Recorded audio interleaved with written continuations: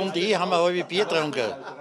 Ja, und dann setze ich mich wieder nieder auf den deppeten Sessel und dann ist er zusammengebrochen. Ach so. Da habe ich so. Ich habe mir gedacht, das ist während dem Schlafen passiert. Hast du ein Ein Poster schlaft nie. Merkt ihr das? Nein. In dem Moment vom Schmerz, ja? Denkt man da dran, jetzt bin ich beim, jetzt im Club gehen.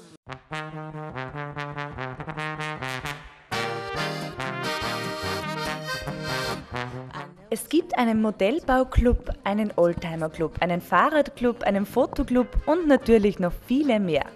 Und seit einiger Zeit den in Österreich ersten und wahrscheinlich einzigen Stumperlclub. Egal ob Daumen, Zeigefinger, Mittelfinger, Ringfinger oder der kleine Finger. Egal. Voraussetzung für eine Mitgliedschaft ist, mindestens ein Fingerglied muss fehlen.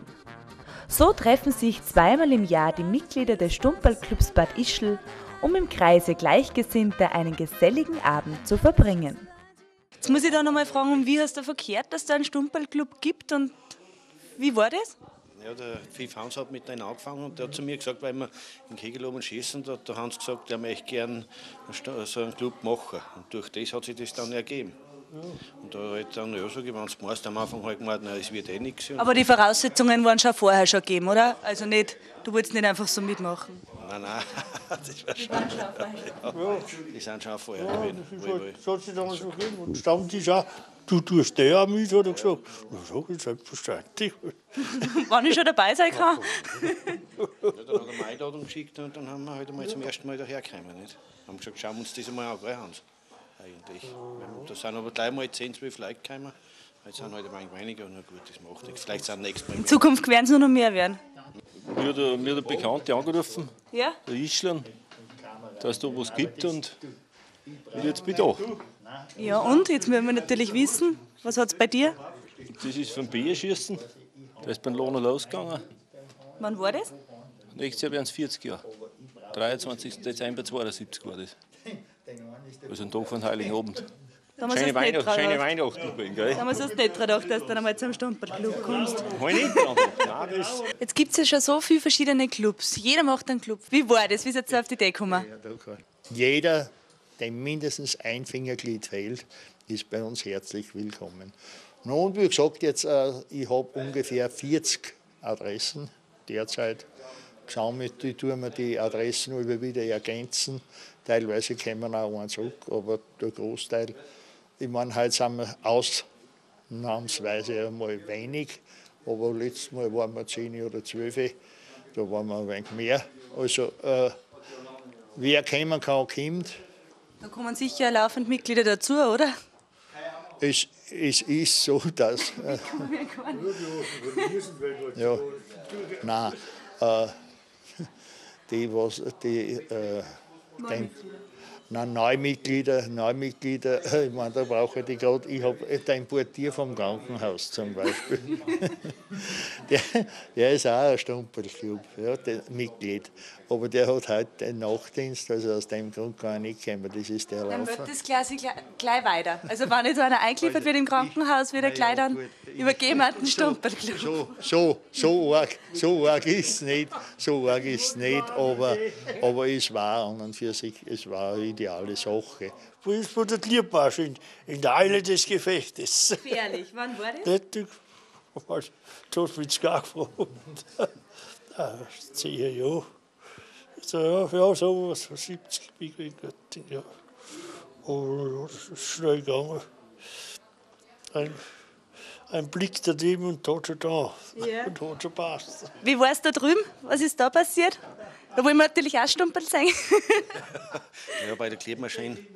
ja, das ist gefährlich, Ja, oder? sehr Das- gefährlich. ja, das ist sehr gefährlich. Die meisten sehr, ja. Fälle jetzt ja. gerade. Ah. Wie war das da? Ich habe da bei mir ist gewesen, am Ah, wegen 30. Mai äh, 96 bin ich im Garten gesessen, habe eine Flasche Bier getrunken und habe so einen Klopsessel gehabt. Und sitze ich schon zehn Minuten drauf, dann riecht jemand und auf einmal pst, liege ich am Boden. Dann schaue ich und denke mir, das hat, er- das hat ein wenig weh Ah. Finger. Schaue ich, habe ich keinen Fingernagel mehr gehabt. Ja. und Aber das ist ein relativ großes Stumperl, sehe ich da. Wie schaut es da aus? Naja, das ist halt so. Ich gehe da so ein Breckel. Als Mechaniker ist mir das schon dann ein wenig angegangen beim Muttern anbeißen. Nicht? Ja, hergegangen ist das saublöd. Äh, Ich war beim Kranarbeiter und haben einen Fassel Kohle geholt und der hat nicht Zeit gehabt, haben wir es halt selber runtergelassen mit dem Kran. Das war so nicht einer Kran und dann habe ich so ein wenig so gehalten, dass man es nicht geht.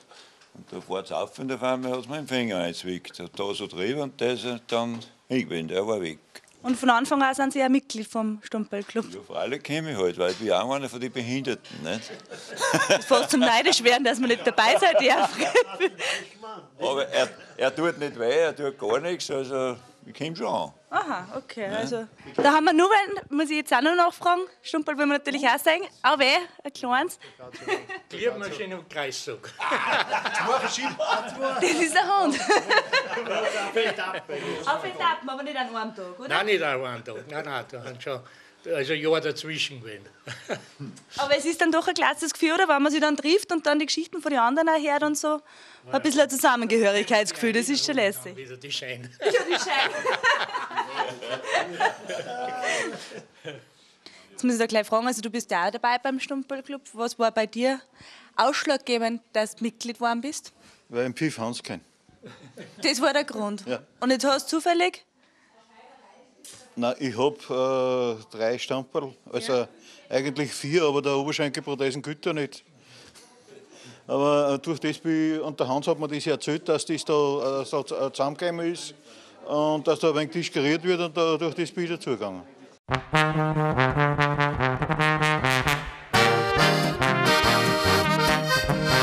also Handicap-Server eigentlich du gar keins, oder? Das, Hm. Nein, man muss sich überdachen als Handicap.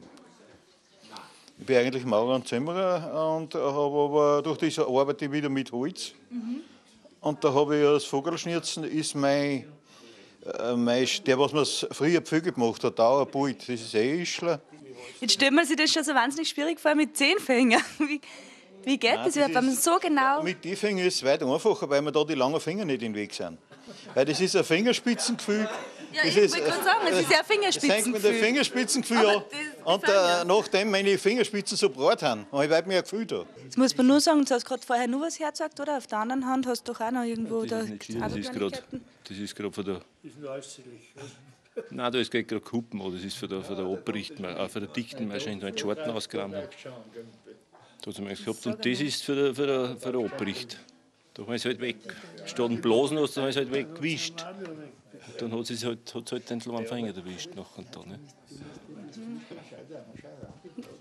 Da schaust du es mir aus daneben, oder? Nein, so geht nichts. Du siehst die freie Luft. Nein, Lord sagen tun wir nicht.